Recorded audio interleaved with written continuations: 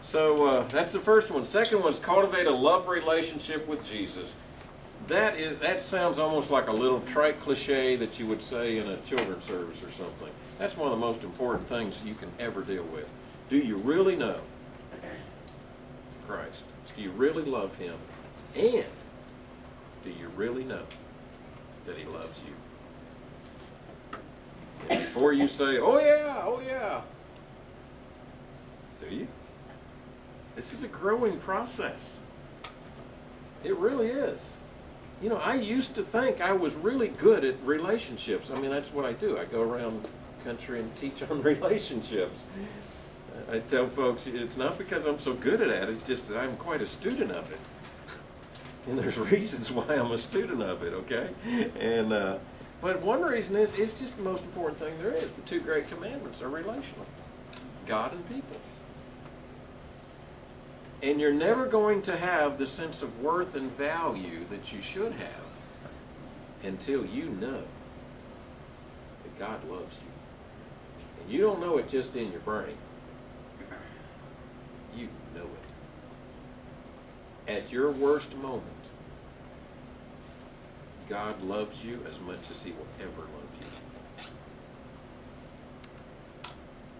There is nothing you can do no matter how you're living right now, there's nothing you can do to make God love you any more than he does right now. Now, I like the phrase that you probably all heard God loves you just as you are, but he loves you too much to leave you like you are. And but he loves you just like you are. And what happens, we're afraid to let God close to us because God can't see that in me. God won't accept me because of this, this, or this. Try him. Try him. Let him see you at your worst. He's going to still love you. In Healing for Damaged Emotions by David Seamands, that's what he says. Put, don't put this super you before God. Take the real you to God.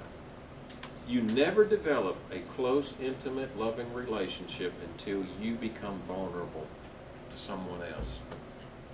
Whether it's another human being or God, it's fact.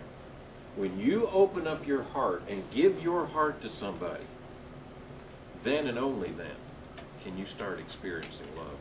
And opening our hearts for some of us is not as easy as it is for others. It's not. Some of us are very guarded, very protective.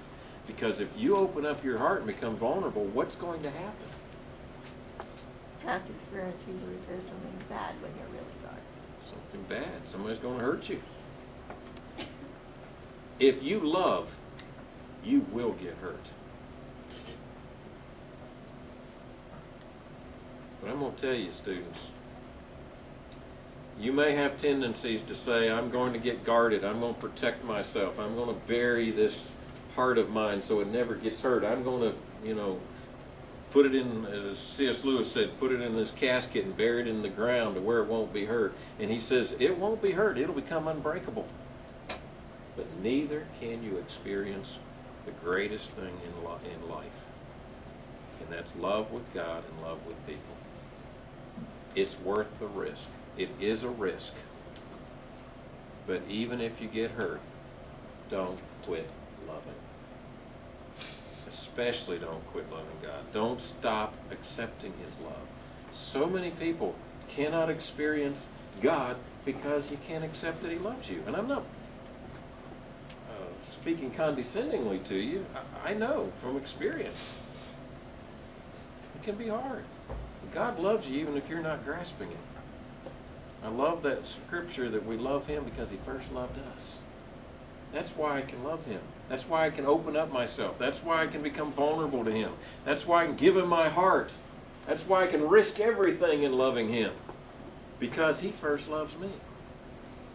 And I like to define love as the unselfish and sacrificial commitment to the good of another.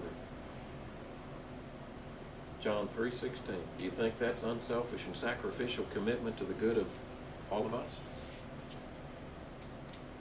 Philippians chapter 2, Jesus stepped out of heaven, took the cross to die, identified with us, went to the cross a miserable death for us, gave up all that he had for you and me. Do you think that's an unselfish and sacrificial commitment to our good? You better believe it.